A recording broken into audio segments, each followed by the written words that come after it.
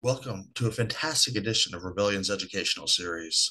Today we're here with a brilliant engineering mind, my friend Hemang Davé, who's going to talk about the excimer laser, which has had a profound effect on our society, and I'm excited to learn. Uh, thank you so much for coming on. Alex, uh, it's always great to be with you. Uh, and and you just stated makes really truly is the right thing to say. Excimer laser has made a profound impact on humanity. So let's just take a little bit of a step back. You know, when we start talking about lasers. So initially, humanity started using lasers for various other purposes, but one of the most important and most prominent use for laser was uh, cutting alloys.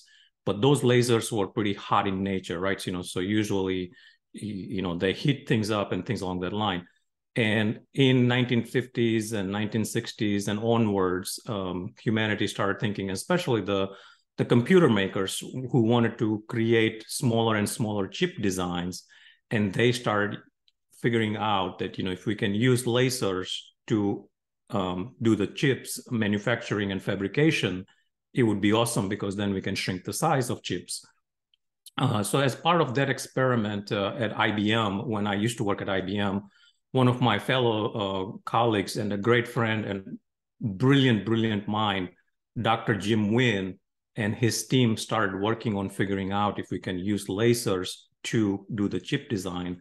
And then came the invention of excimer laser. So initial purpose for it to be was to, you know, creating of uh, chips.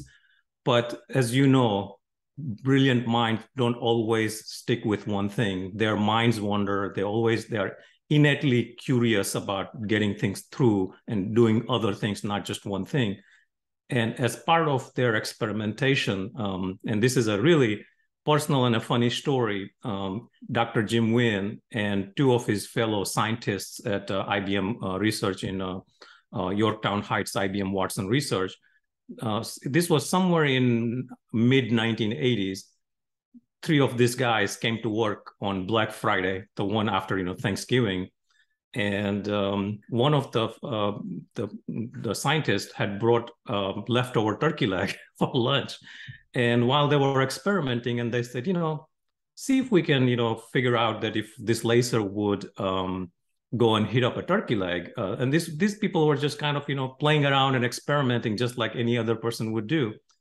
And to their surprise, when they aimed laser at turkey leg, they were able to create very, very, very fine incisions into the cartilage of that uh, turkey leg without destroying surrounding tissues or cells and other things.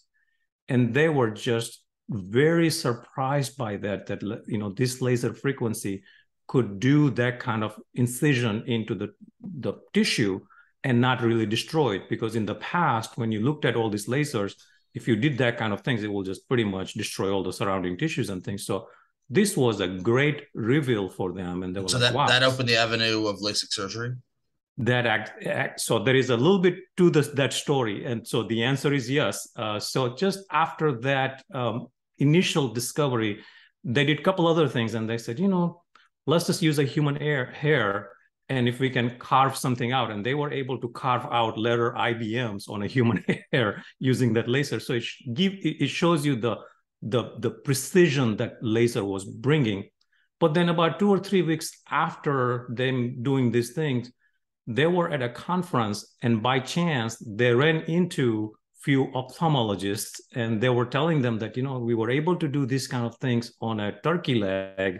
Sure there is applications for some level of you know human experimentation and obviously this being eye doctors they said you know this would really help us reshape cornea and other things within human eye and thus came the invention of LASIK surgery. Obviously, it had to go through a lot of FDA trials, a lot of other things, experimentations and things, both from IBM side, but also from industry at large. And then they were eventually able to come up with, you know, reshaping of cornea and various other things, which is a main and important crucial things about doing LASIK surgery.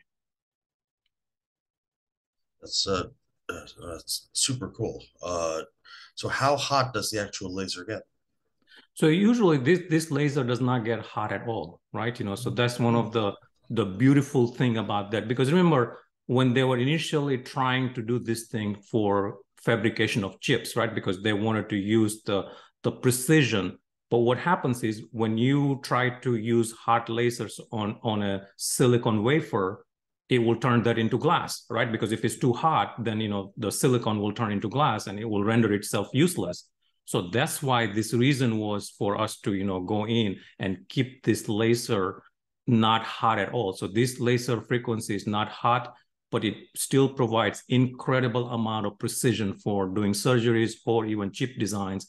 And in many cases, even in today's world, lasers are used for this level of manufacturing in the industrial usage as well. That's uh, super cool. Uh, well, uh, uh this was uh, a really fun uh, exploration today, and I look forward to our next episode where we'll discuss uh, another learning topic uh, with Hemang in the future. Uh, have a wonderful day, and we'll talk soon. Okay, thank you, Alex. Wonderful. Bye bye.